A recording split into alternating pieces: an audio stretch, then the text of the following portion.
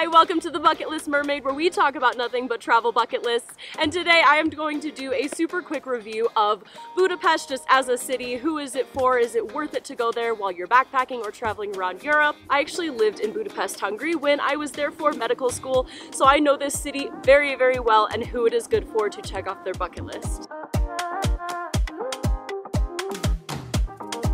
The category, I would categorize this as culture and maybe a little bit of luxury. This is a very unique European destination because of its spas. Therefore, I have to add a little bit of luxury in there, but most of all, it just has a ton of culture. It has a ton of history, and I would actually say that it is one of the most underrated European cities that you will visit on your backpacking trip.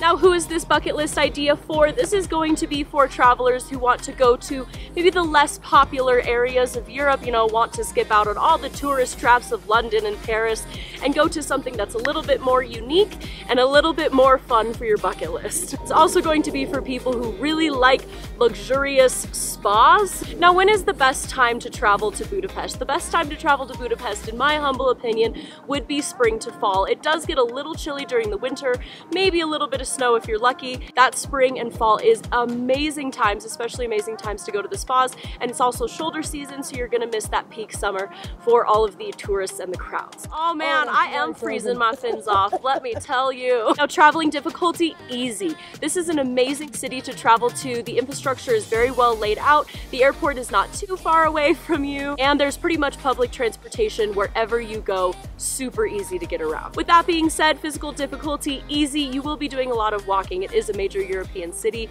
However, it is super easy to get around. As I said, public transport is on point here and you shouldn't have too much trouble. Now popularity rating, this is not going to be as popular as some of the other major destinations in Europe.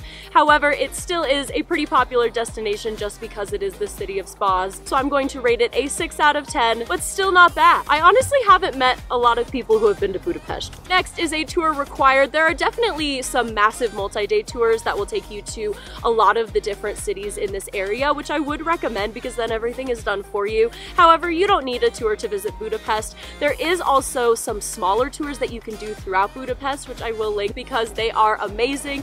One of my favorite ones that I've ever done was I did a ghost vampire tour with my mom, learned so much history, got to see all of the Buda side at night, and it was pretty amazing, I'm not gonna lie. Now, budget good news. This city is amazing for budget. Budapest does not have the hefty price tag. In fact, it's pretty cheap all around. I was so happy to live here and then I went to go live back in the US and um, I cried a little bit. For a major European capital, this is amazing. And lastly, is it wheelchair accessible? Yes, I found that in most places it actually was wheelchair accessible. There are some subway stops that might be a little iffy, so just make sure to check out all of the wheelchair accessible spots before you go out and start bucket listing in Budapest. So what do you think? After hearing all this, do you think that Budapest deserves a place on your bucket list? Would you want to explore this infamous city of spas? Definitely comment your thoughts down below so that I can hear if you're adding this to your bucket list or if you already have what you thought about it. Thank you guys so much for watching. We will see you guys next time. Happy bucket listing. My little mermaid butt is so cold.